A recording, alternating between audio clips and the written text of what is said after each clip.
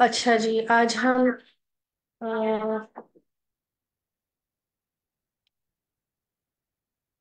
Tensor flow को थोड़ा सा एक्सप्लोर करते हैं अकॉर्डिंग टू द मॉडल जो हम इसी चैप्टर में आई थिंक ट्रेन करेंगे।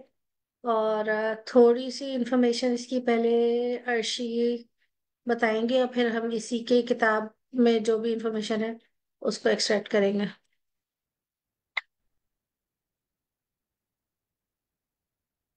हेलो, अस्सलाम वालेकुम। आज हम न्यू चैप्टर स्टार्ट करने जा रहे हैं। जिसमें हम पढ़ेंगे what's the TensorFlow and Keras, ठीक है? ये चैप्टर स्टार्ट करने के लिए लाइक हमें ये देखना है कि टेंसर फ्लो है क्या। अ, अ, मैं जस्ट ओवरऑल एक व्यू दे देती हूँ आप लोगों को। टेक्स्ट तो फिर बहुत लंबा हो जाएगा। टेंसर फ्लो एक पाइथन की लाइब्रेरी है ठीक है? जिसमें हम डिफरेंट लाइक मैट्रिसेस की मल्टीप्लिकेशंस इस तरह के फ़ंक्शंस को परफॉर्म करते हैं। जिसको हम कॉल करते हैं ठीक है? इसके ऊपर इसकी एक एपीआई होती है जो कि रास कहलाती है ठीक है?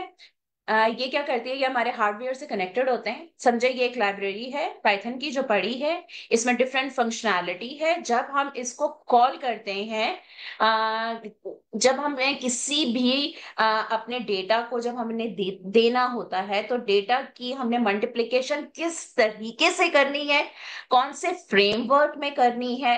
तो ये हमें डिसाइड करना पड़ता है। आ, आप लोगों को पता होगा कि एक तो मतलब लाइक टेंसर फ्लो है और एक पाइटॉर्च है। ये दो फ्रेमवर्क हैं। जिस पे हम क्या करते हैं, अपने मैट्रिसेस की मल्टीप्लीकेशन करते हैं।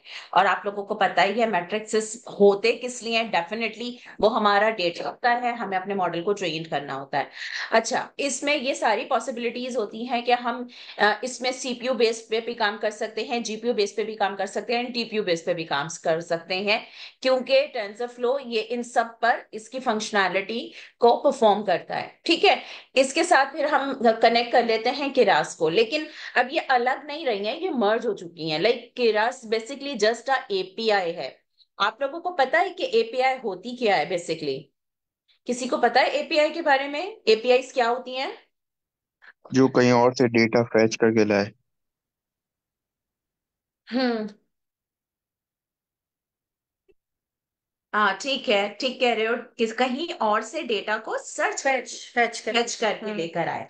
ठीक। है ओके। हाँ तो केरास बेसिकली डेटा को फेच करके मीन जो हमारे टेंसर्स में ऑपरेशंस हो रहे हैं वो उसको वहाँ से उठाकर लाना और आगे उसको अपने मॉडल्स में उसकी परफॉर्मेंस को उसके साथ कनेक्ट करना। आ, ये सारा काम हमारे क्रास डॉट टेंसर फ्लो में होता है ठीक है? अब आगे नीचे हम चलते हैं। आपको जैसे ये पिक्चर दिख रही है लाइक के ऊपर केरास है, नीचे टेंसर फ्लो है और उसके नीचे सीपीयू जीपीयू और टीपीयू जो कि ये सब इसके साथ कनेक्टेड होते हैं। अच्छा अब जो हम मॉडल हम मॉडल की जो परफॉर्मेंस देखेंगे, वो हम केरास पे ही देखेंगे, ठीक? सॉरी टेंसर फ्लो पे देखेंगे। मतलब इसके अंदर जितना भी काम हो रहा है लाइक तकरीबन सेवन चैप्टर तक जितने भी मतलब मॉडल्स की ट्रेनिंग्स हो रही है, वो क्लास के ही ऊपर हो रही है ना। मतलब लाइक इसमें भी पाइटॉर्च वगैरह पर हमारे मॉडल की ट्रेनिंग नहीं हो रही है।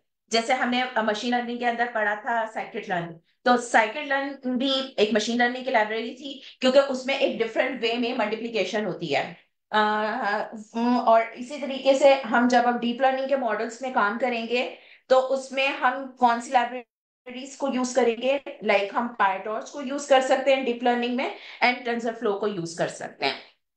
ठीक है? उस, इसमें हम साइकिट लाइन इसलिए नहीं यूज़ करेंगे डेफिनेटली क्योंकि उसकी जो परफॉर्मेंस है वो उस तरीके से नहीं होती। डीप लर्निंग के मेथड उस पे उस तरीके से परफॉर्म नहीं करते हैं। तो अब हम जितने भी मॉडल्स को ट्रेन करने के लिए जा रहे हैं, वो हम टेंसर फ्लो पर ही ट्रेन करेंगे, जब तक कि हम गेम के ऊपर नहीं चले जाते जनरेटिव एडवर्सरियल नेटवर्क के ऊपर नहीं चले जाते, उसमें फिर वो पाइटॉर्स वगैरह आ जाएगा। फ़िलहाल जितना काम है, वो हमारा काम किस पर चलेगा अभी फ़िलहाल? टेंसर फ्लो पर चलेगा। तो इसमें अब आप लोगों को अंदर इन डेप्थ देखना पड़ेगा कि ये ऑलगैरिथम ये लाइब्रेरी इसमें जो हम लेयर्स के ऊपर लगा रहे हैं जो जो मतलब हम चीज़ें इसमें किरास और डॉट टेंसर फ्लो को लेकर आ रहे हैं उनकी परफॉर्मेंस किस तरीके से होगी वो कैसे परफॉर्म करेंगे किस तरीके से वेट जनरेट करेंगे और आगे क्या सब कुछ होगा। बिल्कुल ठीक है? नीचे चलो थोड़ा सा। अच्छा इसमें आगे ये ये बता रहे हैं कि जो इसका इसका एक जो सिंपल वर्क फ्लो है और इसका जो फीडबैक है, जब एरर्स के फॉर्म में हमको मिलता है तो हम काफ़ी आसानी से, वो काफ़ी क्लियर होता है, उसको आसानी से हम उस एरर को चेक करके और उसके एरर को रिमूव कर सकते हैं। तो फिर ये बिगनर्स के लिए काफ़ी इजी होती है कि जब हम स्टार्ट करें इसको तो हम इसको केरास टेंसर फ्लो के किसी जो मॉडल ट्रेन मॉडल हो पहले से, उसको हम अपने पास एग्जीक्यूट करके चेक करें कि ये काम करने में कैसा है। अच्छा इसीलिए काफ़ी सारा डेटा साइंटिस्ट और कंपनीज़ और ग्रेजुएट स्टूडेंट्स जो है, वो क्या करते हैं, इसको इस्तेमाल करते हैं और इससे इससे सीखते हैं। अच्छा अब इनकी एक फ्रेमवर्क एक पॉपुलर फ्रेमवर्क है केगल, जिसपे आप आप में से कुछ लोग तो आई थिंक उससे वाकिफ होंगे। और अगर नहीं है तो उसको एक दफ़ा सर्च कर लें केगल पे। जैसे यहाँ पे आई कोर्ट पे हम काफ़ी सारे कॉम्पिटिशन्स देखते रहते हैं ना कि यहाँ पे कोडिंग के कॉम्पिटिशन्स हो रहे हैं। इस तरह केगल का काफ़ी वर्ल्ड वाइड फ़ेमस एक नेटवर्क है जहाँ पे ऑलवेज कॉम्पिटिशन्स हो रहे होते हैं और उसके प्राइजेस वगैरह भी काफ़ी ज़्यादा होते हैं। तो ये कहता है कि ये मशीन लर्निंग कॉम्पिटिशन वेबसाइट है और यहाँ पे डीप लर्निंग के कॉम्पिटिशन्स होते रहते हैं और ये लोग कैरास को प्रेफर करते हैं। जब तक आई थिंक ये बुक भी शायद छह सात साल पुरानी हो गई है। अब तो कॉम्पिटिशन्स के डोमेन्स भी काफ़ी ज़्यादा बन गए हैं। अच्छा। It enables a wide range of different workflows ये आपको बहुत सारे वर्क फ्लोज के अंदर काम करने के लिए आसानी देता है। इसके पास बहुत सारे फ़ंक्शंस ये एक लाइब्रेरी है, जिसके अंदर बहुत सारे फ़ंक्शंस हमारे पास सेव हैं, जहाँ पे भी हमें जिस फॉर्मेट में जिस फ़ंक्शन की ज़रूरत होती है, हम उसको इंपोर्ट करते हैं साथ टेंसर फ्लो केरास का नाम लगाते हैं और उसको इंपोर्ट करके उससे हम वो चीज़ें ले सकते हैं जिस चीज़ की उस वक्त मॉडल में ज़रूरत हो। अब ये एक बहुत लंबी बात है और लंबी बहस है तो हम जिस वक्त जो मॉडल ट्रेन कर रहे होंगे, हम उस वक्त उसको डिस्कस करेंगे कि यहाँ पे अगर हमने केरास की लाइब्रेरी मंगाई है तो वो उस वक्त वहाँ पे क्या काम कर रहा है। लेयर्स हमने उससे ली हैं तो वो क्या काम कर रहा है। सिक्वेंशियल मॉडल अगर हम मंगा रहे हैं तो वो क्या काम कर रहा है। एंड सो ऑन अच्छा an array of ways to train them each representing a certain trade off between usability and flexibility फिर इसकी यूजेबिलिटी आसान है फ्लेक्सिबिलिटी है इसमें। अच्छा फिर ये आगे का बता रहे है थोड़ा सा कि जो चैप्टर फाइव है हमारा, उसमें हम इसके फ़ंक्शन को फ्रैक्शन गुड फ्रैक्शन को डिटेल से डिस्कस करेंगे स्पेक्ट्रम ऑफ़ वर्क फ्लो और इसका वर्क फ्लो को भी देखेंगे। You could be using Keras like you would use scikit बिल्कुल साइकिट की तरह आप कैराज को भी यूज़ कर सकते हैं। Just calling fit and letting the framework do it thing बस आप एक फिट का फ़ंक्शन लगाएँगे और वहाँ पे फ्रेमवर्क आ जाएगा और अपना काम करेगा। और you could be using it like NumPy और जिस तरह से नम्पाई को हम पहले से यूज़ कर, करते रहे जैसे नम्पाई हमारी लाइब्रेरी थी और taking full control of every little detail और आपके पास पूरा कंट्रोल होता है उसकी लिटिल डिटेल्स को चेंज करने का या उसको देखने का कंट्रोल करने का। This means that everything you are learning now or you are getting started will still be relevant once you are become an expert. अगर हम ये ऐसे सोचें कि एक्सपर्ट बनने के लिए हमें जिन छोटी छोटी चीज़ों को सीखना पड़ेगा, या जिनके पास से गुजरना पड़ेगा, उनमें ये बहुत मतलब ये माइलस्टोन है आपके पास कि आपने इसको देखना है, इसको सीखना है और इसको सीखने से रिलेटेड बहुत सारी चीज़ें आप इसको, इससे रेलिवेंस में सीखते चले जाएँगे। You can get started easily then gradually dive into workflow पहले आप थोड़ा इजी से स्टार्ट करेंगे और फिर एक एक इन डेप्थ हम चीज़ें देखेंगे। Work flows in depth work flows देखेंगे कि काम किस तरीके से हो रहा है मॉडल किस तरीके से ट्रेन हो रहा है और उसके अलावा लॉजिक कैसे लिखनी है और स्क्रैच से कैसे स्टार्ट करना है। आपको ऐसे मॉडल्स भी मिलेंगे जो ऑलरेडी ट्रेंड है और फिर आपको ये भी थोड़ा टाइम में करना पड़ेगा कि स्क्रैच से मॉडल को बिल्कुल स्टार्टिंग से मॉडल को कैसे ट्रेन करते हैं।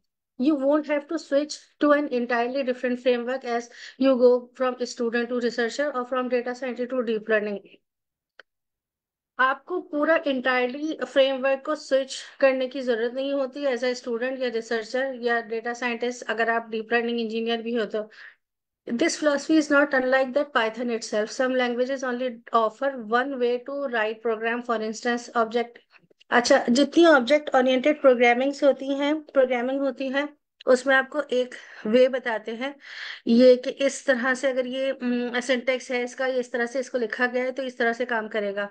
Python is multi paradigm language it offers an array of possible usage patterns क्योंकि पाइथन एक मल्टी पैराडाइम का क्या मतलब होगा?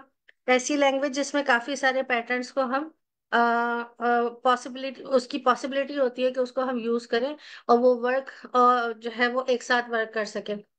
This makes Python suitable for wide wide range very different use cases अच्छा इसी वजह से पाइथन को हम बहुत सारी चीज़ों में यूज़ कर सकते हैं, जैसे system administration data science machine learning engineering web development और so on just learning how to program बस लर्न ये करना होता है कि इसको प्रोग्राम कैसे करना है। सिमिलरली अगर आप कैरास के बारे में बात करें तो फिर ये एक यूज़र फ्रेंडली लाइब्रेरी है डीप लर्निंग की जिसमें डीप लर्निंग जो लैंग्वेज हम यूज़ कर रहे हैं दैट ऑफर्स अ वैरायटी और ये आपको काफ़ी सारी वैरायटी ऑफ़र करती है। वर्क फ्लोज ऑफ़र करती है और उसके बाद अब ये बात कर रहे हैं, बहुत लेंदी ब्रीफ हिस्ट्री कि ये कहाँ से स्टार्ट हुई 2015 में क्या कर रहे थे? तो टू थाउज़ेंड जनरल नॉलेज है ना तो ये तो आप लोग खुद भी पढ़ लीजिएगा। ये जन हाँ ये तो सिर्फ़ अगर क्वेश्चंस वगैरह का भी कोई टेस्ट होता है उसमें आते हैं तो उसमें हो जाता है। अच्छा अगर हम इसको स्टार्ट करने से पहले कुछ ये देख लें कि क्या चीज़ें हाईली रिकमेंडेड है not strictly necessary that run deep learning code on a modern NVIDIA GPU अच्छा हम जितने मॉडल ट्रेन करते हैं, उसमें या तो सीपीयू यूज़ होता है या जीपीयू यूज़ होता है। तो एनवीडिया एक प्लेटफॉर्म है जहाँ पे आपको जीपीयूज प्रोवाइड किए जाते हैं। कुछ एप्लीकेशंस उस पर ही चलती हैं पर्टिकुलरली कुछ एप्लीकेशंस उसी पर चलती हैं।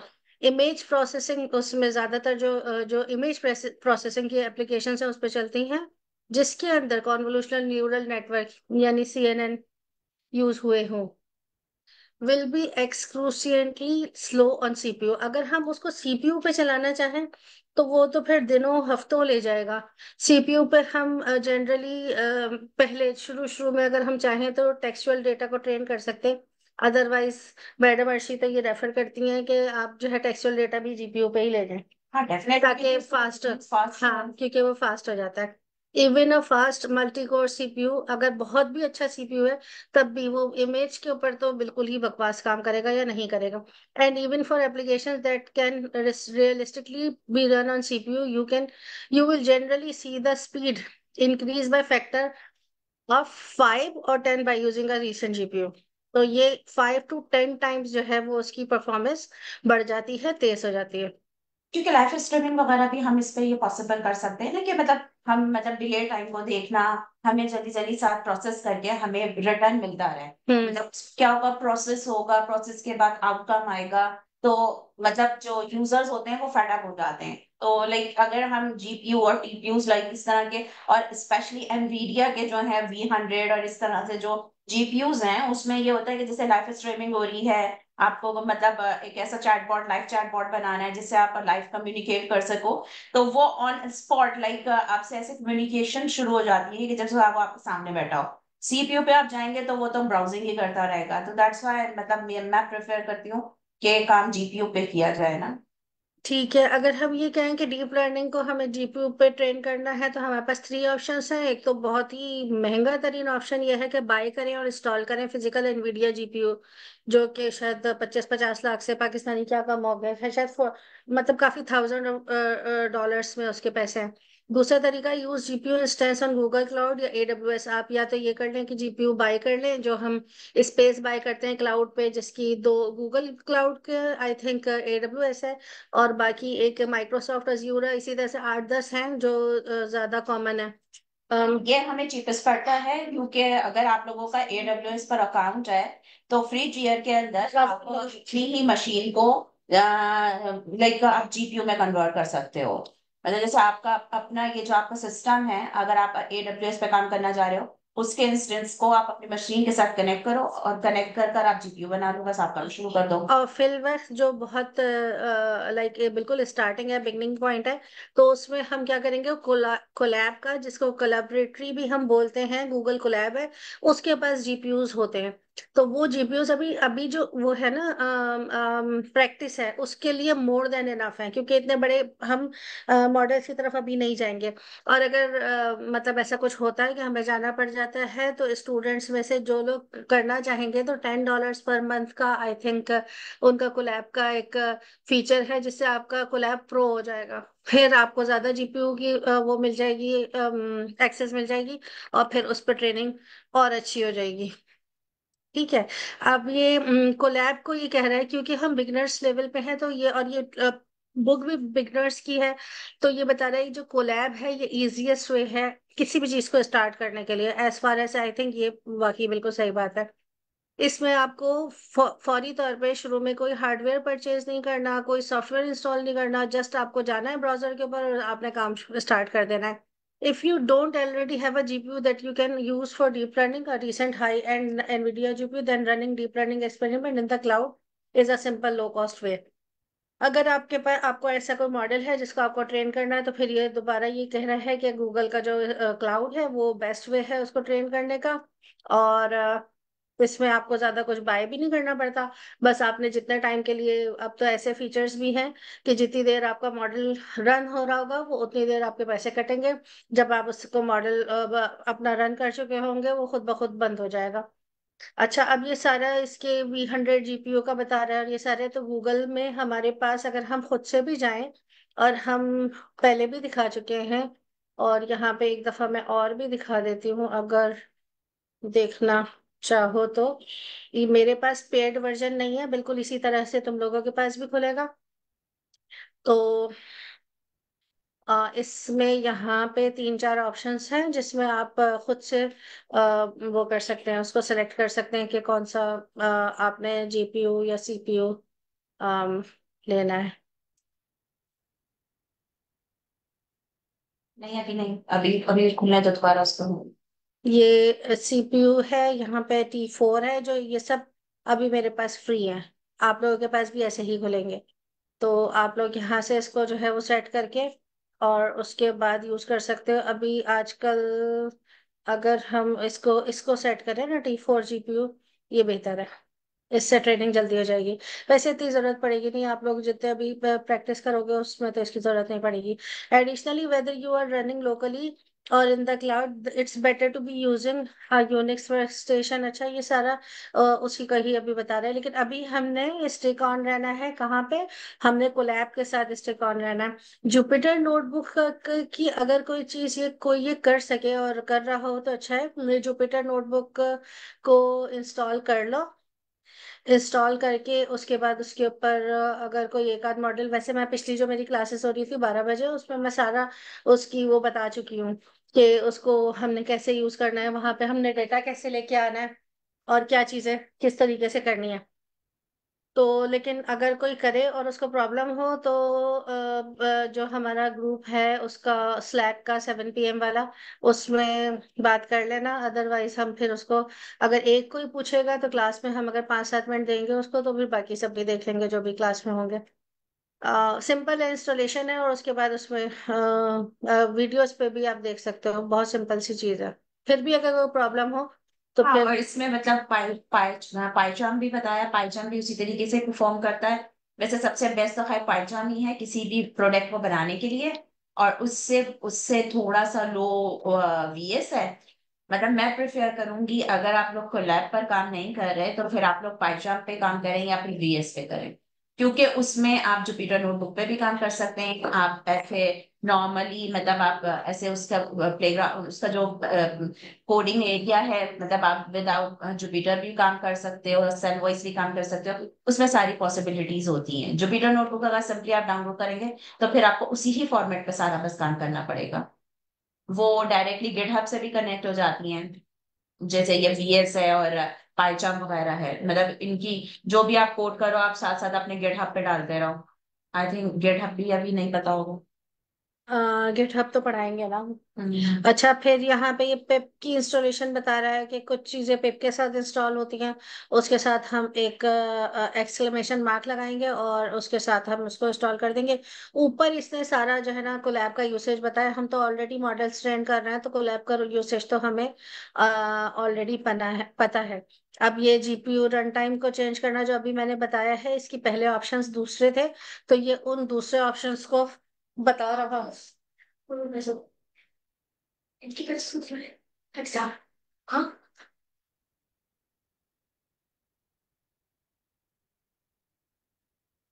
अच्छा अब ये क्या कह रहे हैं? First step with TensorFlow ये सारी इन्फॉर्मेशन देके दोबारा टेंसर फ्लो पे आ गया है। आ, अब ये क्या है? First tensor including special tensor that store the network state variables अच्छा हाँ अब ये थोड़ा सा बताओ तुम।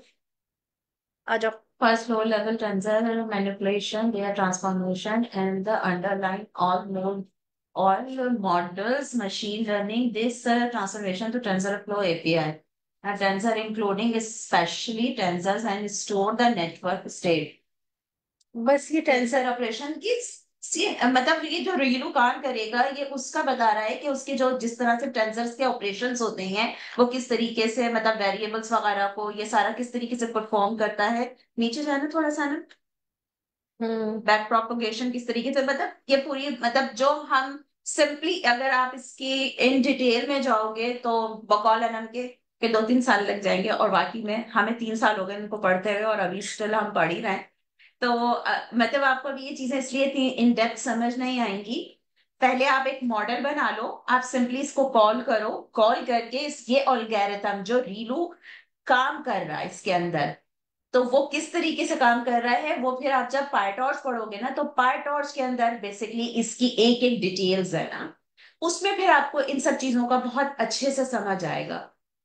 तो सिंपली अभी हम इस तरह से देखते हैं कि रीलू लाइक काम किस तरह से करता है बैक प्रोपगेशन किस तरीके से होती है वेट किस तरह से जनरेट करता है ग्रेडियंट टैप्स ऑब्जेक्ट्स किस तरह से होते हैं, ये किस तरह से हैंडल हो रहे होते हैं लेयर किस तरीके से परफॉर्म कर रही होती हैं डेटा कैसे इसके अंदर से प्रोसेस हो रहा होता है तो gradient descent stochastic gradient descent ये सब मतलब बेसिकली जो लेयर पे which are the combined into the models मतलब लेयर्स किस तरह से कंबाइन होती हैं, और लॉस फ़ंक्शन किस तरीके से प्रोसेस करता है define the feedback signal signal under the learning मतलब लॉस फ़ंक्शन मीन जब वेट जनरेट होते हैं तो जब वो ट्रू वैल्यू के साथ जाकर चेक करता है कि कितनी उसमें प्रोडिक्शन हुई हैं तो वो फिर उसके लॉस को चेक करता है। ये सब आपको बहुत अच्छे से डिटेल में आपको पाइटॉर्च के अंदर दिखेगा। क्योंकि पाइटॉर्च के अंदर सारे ग्रेडियंट्स जनरेट हो रहे होते हैं, उसमें ये आपको सारी कैलकुलेशन बहुत ज़्यादा क्लियर हो जाएगी। अभी सिंपली हम क्या करते हैं, हम ये जितने टाइप के अलगैरिथम हैं जो हमारे डीप लर्निंग के मॉडल के अंदर यूज़ हो रहे हैं मैट्रिक्स के लिए और उसकी मैट्रिक्स के लिए, एक एक्टिवेशन फ़ंक्शन के लिए, जो जो अलगैरिथम हम यूज़ कर रहे हैं।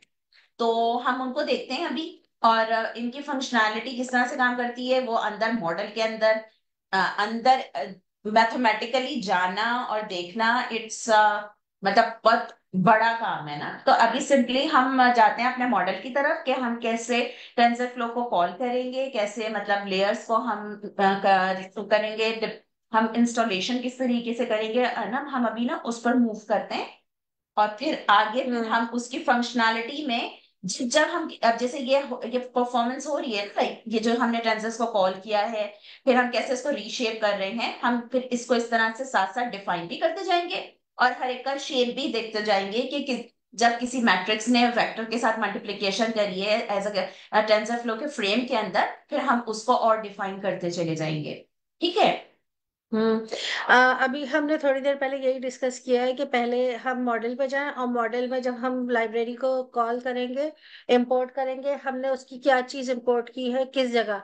उसको हम फिर इन डेप्थ पढ़ते जाएँगे ताकि जो इंटरेस्ट है वो भी खत्म ना हो, क्योंकि वो बहुत ड्राई हो जाएगा। वो सिर्फ़ समझ भी नहीं आएगा वो कनेक्ट भी नहीं कर पाएँगे उसको कि इसको हम एक्चुअल वर्क से रियल वर्क से कैसे कनेक्ट करें। यहाँ पे ये इंपोर्ट कर रहा है टेंसर फ्लो को, फिर इसने कहा कि एक टेंसर बना दो वन वन हो। उसमें सारे वंस हो और शेप उसको दे दो टू और वन का और उसके बाद उसको प्रिंट करा दो और उसके बाद फिर ये शेप दोबारा दे रहा है टू और वन का डेटा टाइप चेक कर रहा है कि फ्लोट है इसकी और जनाब ये रैंडम टेंसर्स यहाँ पे क्रिएट करेंगे रैंडम अच्छा इसकी प्रैक्टिस करना चाहो प्लीज़ तो घर पे इस वाले इन कोड्स की प्रैक्टिस कर लेना। तो ये बता, और इसमें चेंजेस करके देखना ज़ीरो की जगह कुछ और लगा के देखो, और इस तरह से करके देखो। तो दैट वुड बी ग्रेट मतलब ये सारा बेसिकली आप लोगों को ये समझाना चाह रहा है टेंसर्स में मतलब आप कैसे मल्टीप्लिकेशन करोगे? पहले तो आप एक नंबर एरे बना लोगे। जो एरे बन जाएगी, उसकी जो शेप होगी, उसमें कितना है, वो किस तरीके से वो परफॉर्म कर रहा है, अगर आपने उसमें मतलब डॉट प्रोडक्ट निकालना है तो वो किस तरीके से निकलेगी एडिशन करना है। मतलब ये सारे मतलब उसके फ़ंक्शन उसके ऑपरेशंस को डिफरेंट तरीके से परफॉर्म करके दिखा रहा है कि आप किस तरीके से मैथमेटिकली आप अपनी मशीन के अंदर, आप डीप लर्निंग के अपने मॉडल के अंदर आप किस तरीके से अपने डेटा को रीड करवा सकते हो। हम्म। अच्छा ये वाली जो चीज़ें हमने छोड़ी हैं, ये हमने बेसिकली छोड़ी नहीं है इन चीज़ों के ऊपर हम दोबारा आएँगे मॉडल ट्रेन करते वक्त। जब हम मॉडल ट्रेन करेंगे तो उससे रेलिवेंट जो भी इंफॉर्मेशन होगी उस इंफॉर्मेशन को हम डिस्कस करेंगे। हाँ जो ये वाली इम्प्लीमेंटेशन uh, है जो छोटी प्रैक्टिस है कि टेंसर बन कैसे रहा है उसका शेप डिफाइन करना उसका शेप चेंज करना उसको मल्टीप्लाई करना प्लस करना तो ये वाले काम अगर प्रैक्टिस घर पे हो सके तो बहुत अच्छा है। ये अच्छी बात हो जाएगी। हाँ मतलब लेकिन इसमें जितने भी ये जो बिल्डिंग ब्लॉक्स आ रहे हैं तो ये हम बार बार जब हम मॉडल ट्रेन कर रहे होंगे ना तो हम इन पे वापस जाएँगे। कि इस लेयर में क्या प्रोसेस हो रहा है? मतलब हम आप ये लोग आप ये नहीं सोचिएगा कि हम स्किप कर रहे हैं, क्योंकि ये चीज़ें ना आपको भगा देंगी कोर्स में से। तो इसलिए हम जब मॉडल की ट्रेनिंग कर रहे होंगे, जब उसकी रिक्वायरमेंट होगी तो हम साथ साथ इसको लेके चलते रहेंगे। अच्छा फंडामेंटल डेटा स्ट्रक्चर जो हमारा बना हुआ होता है, वो लेयर्स पे बना हुआ होता है। वन हमारी एक इनपुट लेयर होती है, एक आउटपुट लेयर होती है, इसके ऊपर हम बार बार डिस्कस करेंगे और बीच में उसकी हिडन लेयर्स होती हैं। और वहाँ से हमारा डेटा प्रोसेस होता है टू विच यू वर जो कि हमने चैप्टर नंबर टू में अच्छे से पढ़ा है। A layer is a data processing A layer is a data processing approach, module that take an input one or more tensor and that. अच्छा इसके अंदर भी क्या हो रहा होता है? क्योंकि हमारा जो कंप्यूटर है, वो सारा कुछ जो समझ रहा होता है नंबर्स में समझ रहा होता है नंबर्स को वो टेंसर फॉर्मेट में लेके जा रहा होता है। ऑफ़ कोर्स जब लेयर्स में हमारा डेटा जाता है तो वो टेंसर शेप में होता है। और जो आउटपुट आ रहा होता है, वो भी वन और मोर टेंसर्स के शेप में होता है। सम लेयर्स आर स्टेटलेस कुछ लेयर्स ऐसी होती हैं जो स्टेटलेस होती हैं but frequently layers have state लेकिन ज़्यादातर जो लेयर्स होती हैं, उनकी स्टेट होती है।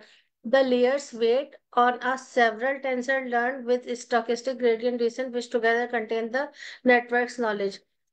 Layers का जो वेट होता है, वो जो मुख्तलिफ़ टेंसर्स लर्निंग कर रहे होते हैं, कौन से एल्गोरिथम के थ्रू स्टोकेस्टिक ग्रेडियंट के थ्रू जो लर्निंग कर रहे होते हैं और इन्होंने कंटेन किया किया वो होता है इनमें नॉलेज होती है। वो नॉलेज जो हमारे पास डेटा के अंदर है।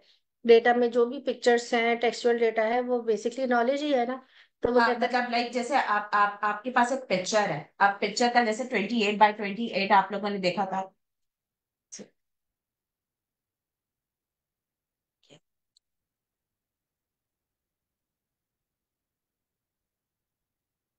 जैसे आप लोगों ने पिक्चर का डेटा देखा था, जिसमें जैसे लाइक हमने ग्रे स्केल पिक्चर का डेटा देखा था twenty eight by twenty eight twenty eight by twenty eight जो पिक्चर थी और जो पिक्सल्स थे तो हर पिक्सल के अंदर एक इंफॉर्मेशन थी, ठीक है? जैसे हमने फोर देखा था तो फोर जो बन रहा था तो जिन पिक्सल्स में उसके, उससे रेलिवेंट नॉलेज थी लाइक फोर जहाँ जहाँ पिक्सल्स उसकी शेप को डिफाइन कर रहे थे तो उनकी वैल्यूज़ होती हैं। वो वैल्यूज़ जो होती हैं ना वो समझे लेयर की नॉलेज होती है। लेयर के पैरामीटर्स होते हैं लेयर में मतलब लेयर के लिए वो वेट होते हैं। वो उसको रीड करते चले जाते हैं।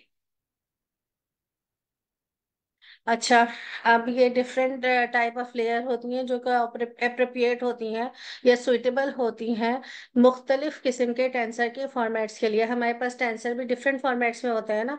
अम, फिर और different type of data processing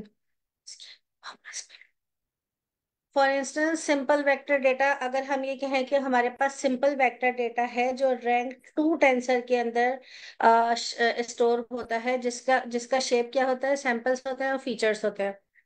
Uh, जैसे लेबल डेटा है हमारे पास उसमें सैंपल्स हैं और फीचर्स हैं। Is often process by densely connected layer अब इसको प्रोसेसिंग के लिए ज़्यादातर ऑफनली जो ये प्रोसेस होता है, ये डेंसली कनेक्टेड लेयर्स के थ्रू प्रोसेस होता है और इसको हम फुली कनेक्टेड और डेंसली कनेक्टेड लेयर्स भी कहते हैं। इसको हमने अच्छे से एक्सप्लेन किया था कि फुली कनेक्टेड और डेंसली कनेक्टेड लेयर्स क्या होती है the dense class in Keras अच्छा sequence data stored in three tensors of shape जो हमारा सीक्वेंस वाला डेटा है वो कह रहा है कि rank three tensor of shape में होता है तो ज़ाहिर है यहाँ पे हम क्या देख रहे थे कि हमारे पास ये टू है और यहाँ पे क्या होगा ये थ्री होगा। जब ये थ्री होगा तो इस ये टिपिकली प्रोसेस होता है रिकरेंट लेयर्स में। रिकरेंट लेयर्स में प्रोसेस होता है और इसको हम क्या कह सकते हैं long short term memory layer भी कह सकते हैं। आ, एक मिनट मुझे एक मिनट दीजिएगा।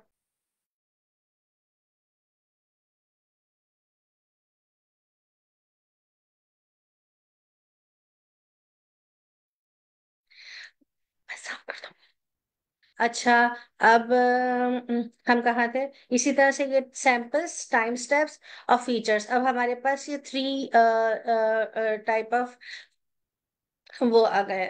लाइक अब इसमें जो है, जो ये कह रहे हैं कि ये कौन सा रिकरेंट लेयर में होगा, जैसे एल एलएसटीएम लेयर में, और वन डी कॉन्वोल्यूशनल लेयर जिसको हम देखेंगे, जब हम अपना मॉडल ट्रेन कर रहे होंगे तो हम देखेंगे वन डी कॉन्वोल्यूशनल लेयर होगी टू डी होगी।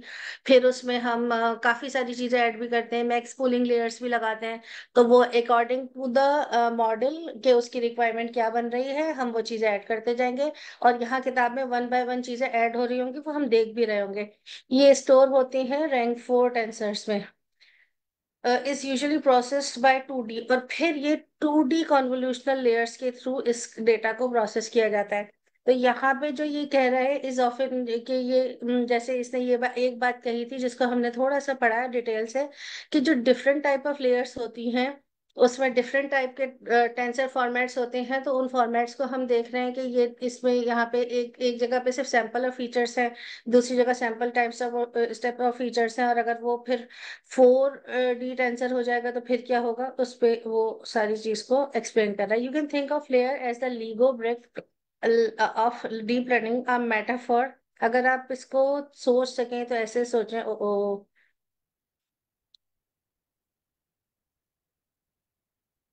हम कौन से पेज पे थे?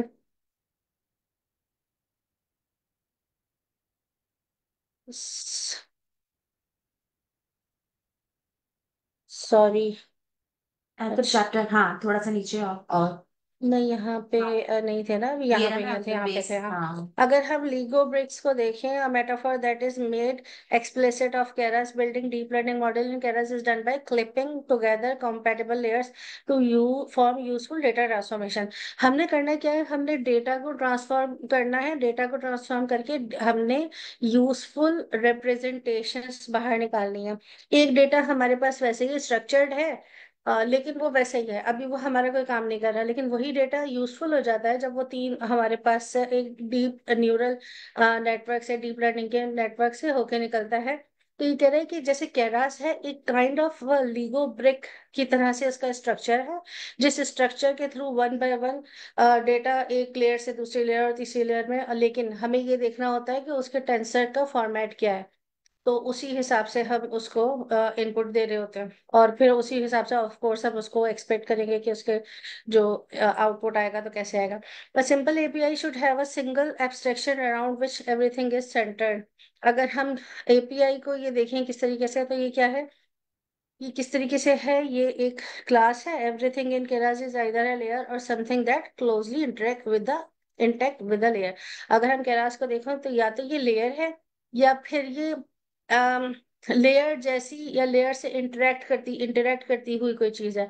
A layer is an object और हम लेयर को समझे तो कैसे समझेंगे कि ये एक ऑब्जेक्ट है जिसके अंदर क्या है? हमारे पास वेट्स हैं और हमारे पास कंप्यूटेशनल कंप्यूटेशन है। अगर हम कंप्यूटेशन को फ़ंक्शन कह लें कि हमारे पास डिफरेंट फ़ंक्शंस हैं the weights are typically defined in a build जो हमारे वेट है वो एक फ़ंक्शन है बिल्ड जिसके अंदर डिफाइंड हुए हुए although they could also be created in constructor init के फ़ंक्शन में भी इसको हम क्रिएट कर सकते हैं and the computation is defined in call method और हमारे पास जो कंप्यूटेशन है, वो कॉल मेथड्स होते हैं जिनके ऊपर वो डिफाइन हुआ हुआ होता है।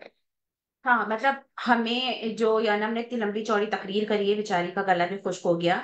तो बेसिकली ये यही है कि हम क्या कर रहे हैं, जो टेंसर फ्लो में जब हम जा रहे हैं अब हम इसमें जाकर हम अपनी लेयर्स को डिफरेंट मेथड से डिफाइन करेंगे। अच्छा डिफरेंट मेथड से किस तरीके से डिफाइन करेंगे? क्या हम अब किस लाइक like, अगर हम एल में लेकर आ रहे हैं या कॉन टू डी या कॉन कॉन्वोल्यूशनल न्यूरल नेटवर्क का लाइक हम कॉन फोर लेकर आ रहे हैं या कॉन वन लगा रहे हैं तो यह हम किस तरीके से कर रहे हैं? हमें ये क्यों करना है? मतलब अगर हम कौन का लेयर्स को लेकर आ रहे हैं तो क्यों लेकर आ रहे हैं, क्योंकि हमें उसके एजेस को रीड करना है। अगर एलएसटीएम लेकर आ रहे हैं तो हमें क्या करना है? हमें टेक्सचुअल डेटा को रीड करना है और एक सीक्वेंस डेटा पे काम करना है। तो बेसिकली ये सारे, और फिर वो कॉल मेथड का फ़ंक्शन क्या करेगा? वो उनको कॉल करेगा और मैथमेटिकली उसके सारे परफॉर्मेंस को करता चला जाएगा। तो मतलब इसका लुबे लुबाब यही है कि ये सारे चीज़ों को आप इन डिटेल अभी आगे पढ़ने जा रहे हैं। पूरा एल पर एक चैप्टर है सी एन एन पे पूरा एक चैप्टर है, जिसमें आपको चीज़ें बहुत अच्छे से समझ आएँगी। सबसे पहला जो आप लोगों ने मॉडल ट्रेन किया, जो अनंत ने आप लोगों को दिखाया था, जिसमें हमने प्रिडिक्ट किया था कि ये नाइन है कि फोर है पिक्चर पर। उसमें सिंपल आपने एक नेटवर्क बनाया था, जिसमें आपने किसी को भी कॉल नहीं किया था। कॉल में ना आपने टेंसरफ्लो को कॉल किया था, ना ही आपने किरास को, ना ही आपने किसी कॉन्वोल्यूशनल न्यूरल नेटवर्क को लाइक एल को। तो उस जो हमारी एक्यूरेसी आई थी, वो ninety eight point like something that आई थी, लेकिन जो उस पर मॉडल की जो प्रोडिक्शन आई थी, वो डिफरेंट थी। मगर अब आप जब आगे देखोगे ना, जब हम इन लेयर्स को लगाएँगे तो आप देखना उनकी फंक्शनैलिटी कितनी ज़्यादा इंप्रूव होगी। मतलब हमने एक सिंपल मॉडल ऊपर ज्वाइन किया था, अब सेम उसी मॉडल को जब हम इन लेयर्स के अंदर से प्रोसेस करेंगे, आप देखना उनकी एक्यूरेसी टोटल चेंज हो जाएगी। जैसे आजकल आप देखते हो ना, हर चीज़ एच हो गई है। तो जस्ट लाइक like आप ऐसी समझ लो।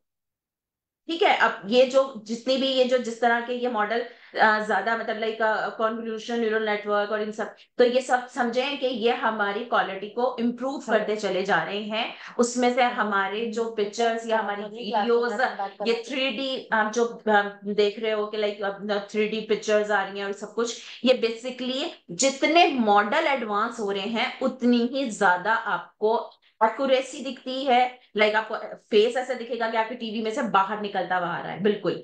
क्यों? क्योंकि उसमें हम ऐसे मॉडल्स को लगाते हैं कि वो उसकी एक्यूरेसी को इतना इम्प्रूव कर देता है कि वो बिल्कुल ऐसा लगता है वो रियलिस्टिक है। ठीक है? ठीक है।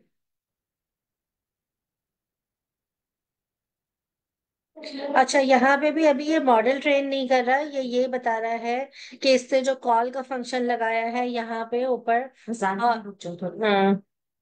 म्यूट कर दो थोड़ी देर अजान हो रही है मैं दो मिनट के लिए रुकूँगा।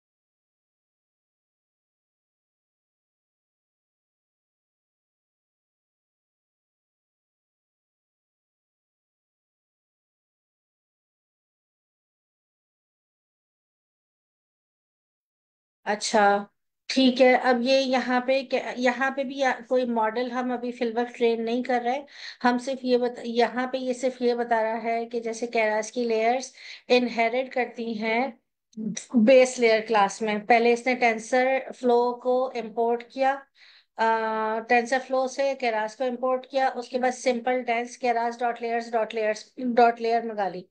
अब ये है कि हम जो बात करें डेटा की, कि डेटा हमारे पास लेयर्स के थ्रू गुजरता है। अब वो लेयर्स कहाँ से आती हैं? हम कह केरास पढ़ ही क्यों रहे हैं? हम हम टेंसरफ्लो पढ़ ही क्यों रहे हैं?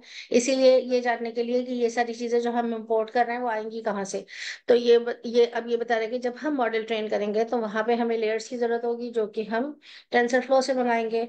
और यहाँ पे ये जो बात इसने ऊपर की है एक एक बात की थी कॉल की, आई थिंक कॉल फ़ंक्शन, और एक है कॉल मेथड और एक है बिल्ड, कि ये जो वेट्स हैं हमारे पास आ रहे हैं, ये बिल्ड में डिफाइन होते हैं। और ये जो कॉल है, ये हमारे जो मेथड को, ये कंप्यूट हमारी कंप्यूटेशन को डिफाइन कर रही होती है। तो इसको ये कोड के थ्रू बता रहा है, ये भी मॉडल तो नहीं है। बस ये कोड के थ्रू इसको एक्सप्लेन कर रहा है। और यहाँ पे जैसे ये ये बता रहा है कि यहाँ पे देखो weight creation take place in the build method यहाँ पे शेप इसका और डायमेंशंस इनपुट डायमेंशंस वगैरह सारी ले रहा है। उसके बाद फिर यहाँ पे ये add weight is a shortcut shortcut method for basically ये इंफ्रास्ट्रक्चर दिखा रहा है। हम्म। मतलब इसमें अभी कोई मॉडल ट्रेनिंग नहीं हो रही कोई हम कोई डेटा नहीं दे रहे हैं। जस्ट ये इंफ्रास्ट्रक्चर बता रहा है कि आपने इसमें इनपुट कैसे देना है एक्टिवेशन किस तरीके से कब करनी है। तो बेसिकली ये जस्ट अ इंफ्रास्ट्रक्चर ना।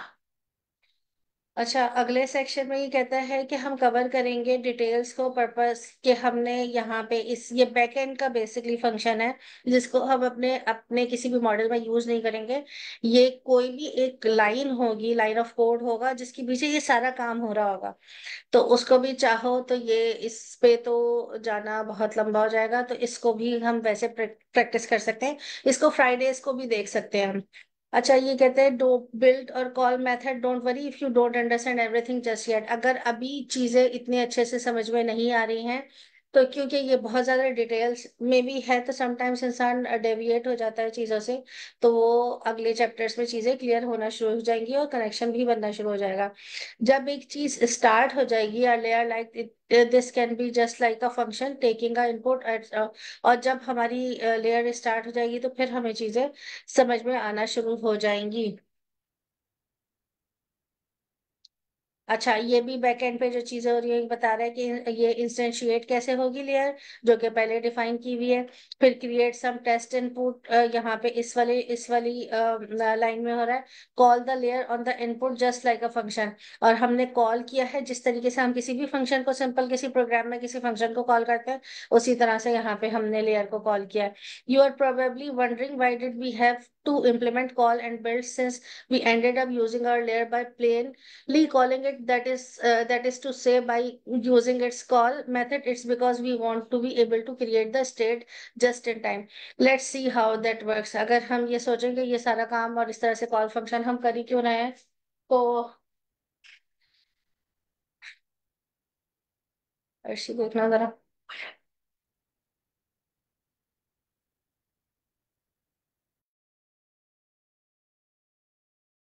ओ my god oh my god clear clear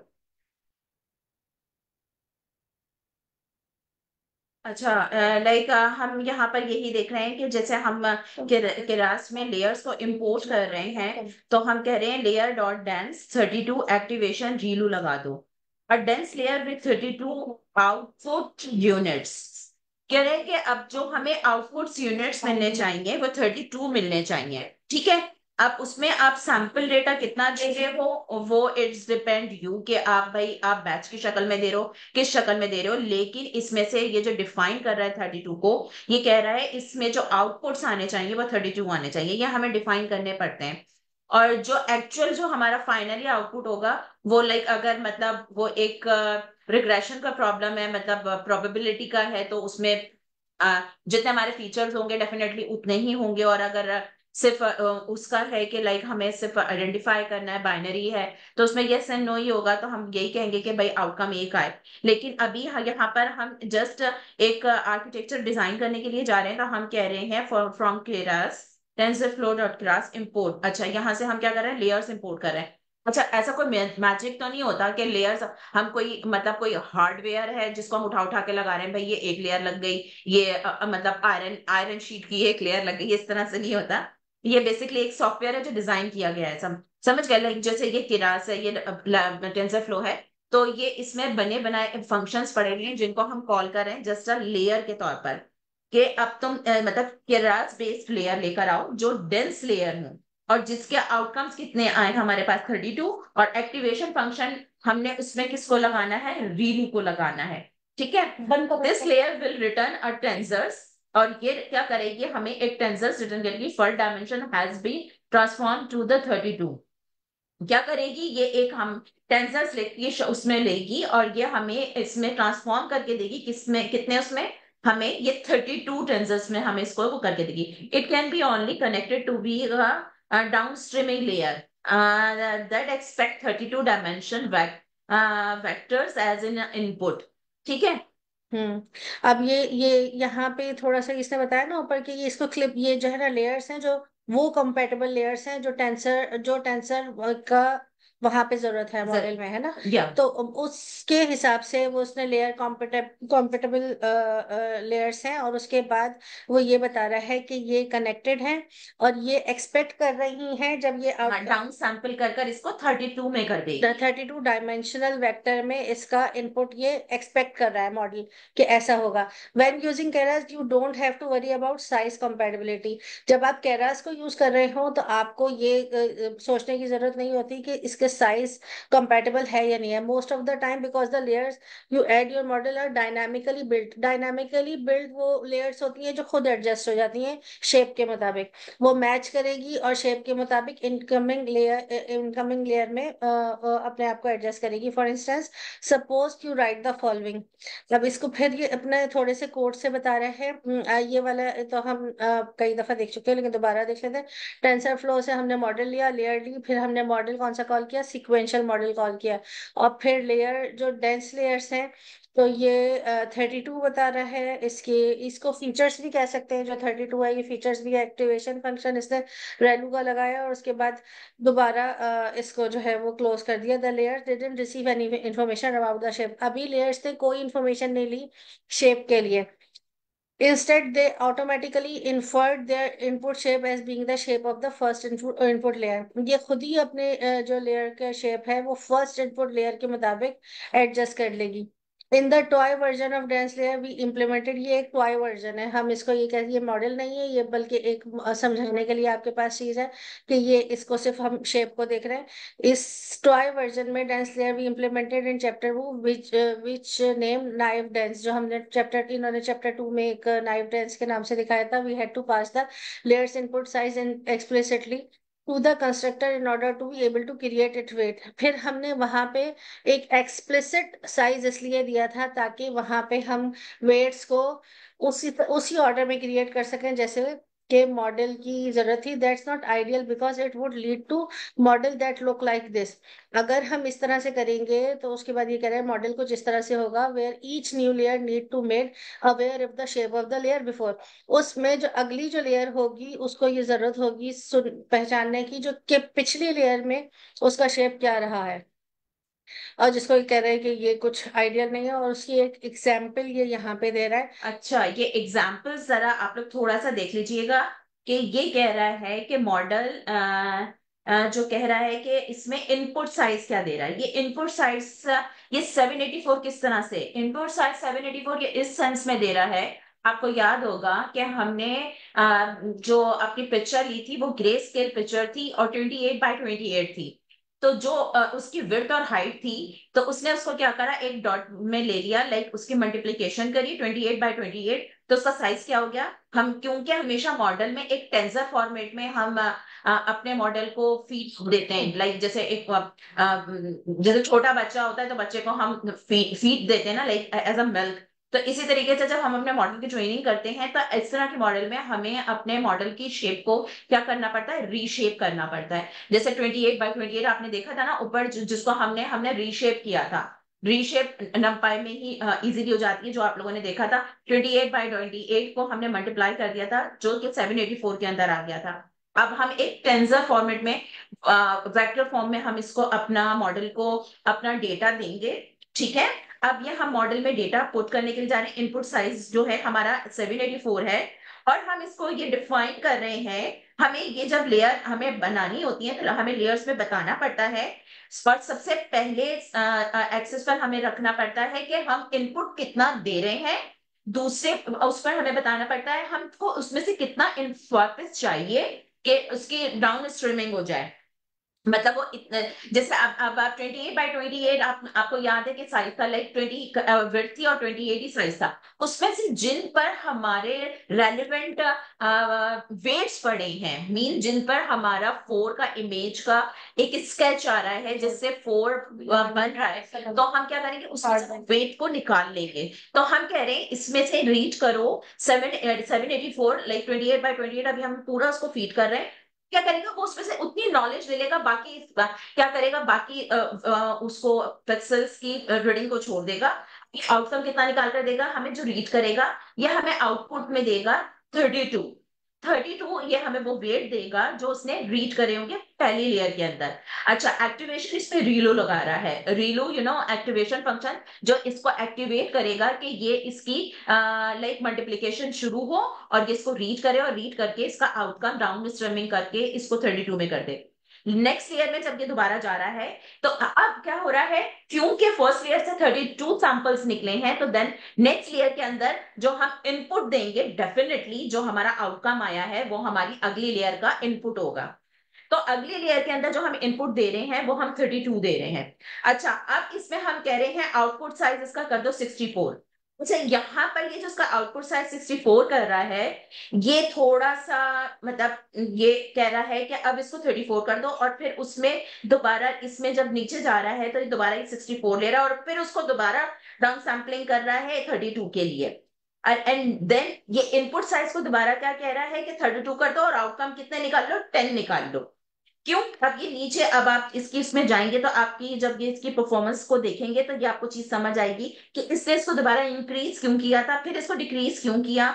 क्योंकि इसकी रेटिंग और इसके मतलब सैम्पलिंग के इस तरह से, और फिर इसको एंड में क्या कह रहा है? देखिए, ऊपर की सारी जितनी भी लेयर्स में है, उसमें रीलू ही लगा है। और रीलू हमने पहले बहुत अच्छे से इसको अलगैरिथम को समझा दिया था सॉफ्टमेक्स क्यों लगा है? क्योंकि ट्रेंड प्रोबेबिलिटीज हैं और इसमें कितने टेन इसके आउटकम्स निकल रहे हैं।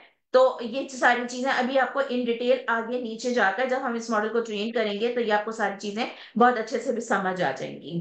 ठीक है?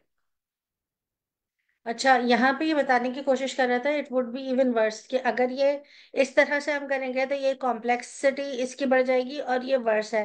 For instance what if our layer तो ये इसका अब कोई ना कोई हल बताएगा कि किस तरीके से आपने इनपुट लेयर्स देनी है, कि जो कॉम्प्लेक्स भी ना हो और उसको वो मॉडल उसको आसानी से रीड भी कर सके if you were to reimplement our naive dense layer और Keras layer capable of automatic shape inference अगर हम ऐसी लेयर बना दें जहाँ पे उसका शेप इन्फ्लुएंस ऑटोमेटिक हो, जो हम पढ़ रहे थे, कि it would look like the previous simple SC listing, which built and call methods.